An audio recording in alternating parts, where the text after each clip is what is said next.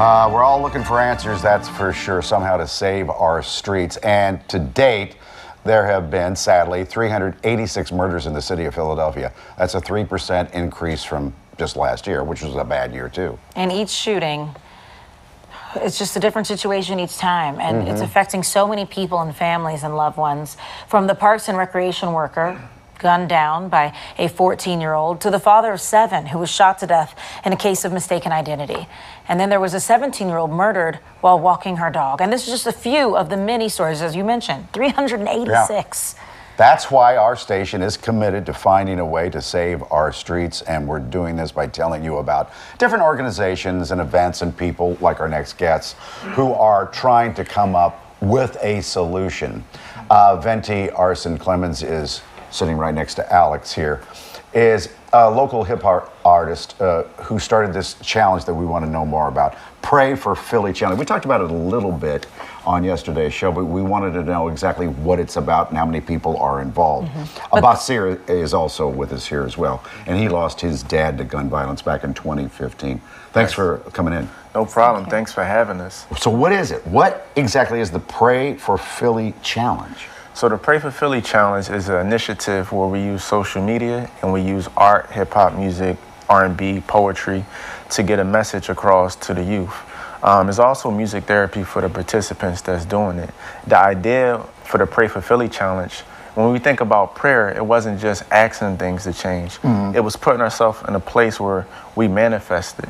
So by manifesting, we created action and put it into words and put it out there. Because you don't attract what you want, Yeah. you attract what you are. Mm-hmm. So we wanted to manifest this and put ourselves in a state of confidence, come out of the grief, and use this as a tool for positivity. Oh, I think I get it now. So there's a, a bass track that you've created, and then I can create whatever song or whatever poetry mm-hmm. I want to put over that music. Exactly. So what I do is I normally send a beat out to the artists, and they tell their perspective however they want to do it. About how it speaks to them because we're showing different videos as we were scrolling up of people who have done this challenge and b- basically they have to make sure they use that hashtag too so people can see that it's growing Yes, they have to use the Pray for Philly challenge.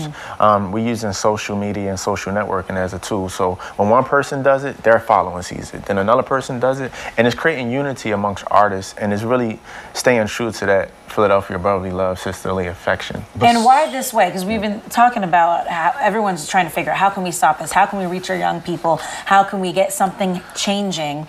And why this way? Why with this challenge on social media? Do you think this will be a good way to go? Well, the reality is violence may, may not ever stop. Um, we have to understand it and where it comes from. And it's a disconnect between the people that's doing the work and the people that need the work. And the disconnect comes in not understanding the trauma, the depression. So using this is reaching out to the youth because challenges is the thing. It's what people want. They want to be involved. They don't want to miss out. So if you challenge someone, and especially in hip hop culture, you hold them accountable and you want to test their skills. So it makes people step up. That's why we're doing it this way. It's a bunch of challenges, but this is a challenge with a purpose.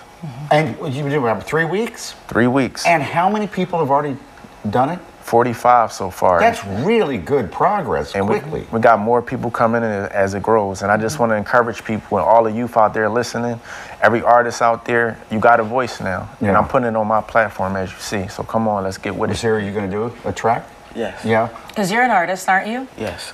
15 years old. Yes. I'm 14. Oh, you're 14. All right. I'm aging you. Sorry.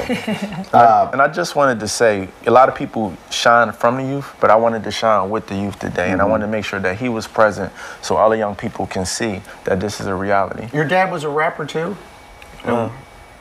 Yeah, he was. Yeah, seven years ago he was. What what, what happened in his situation? So, um, unfortunately, he was murdered um, in uh, Williamsport, and his his mother is still uh, trying to get closure by getting the case Right. closed, and she's having some My issues God. with that.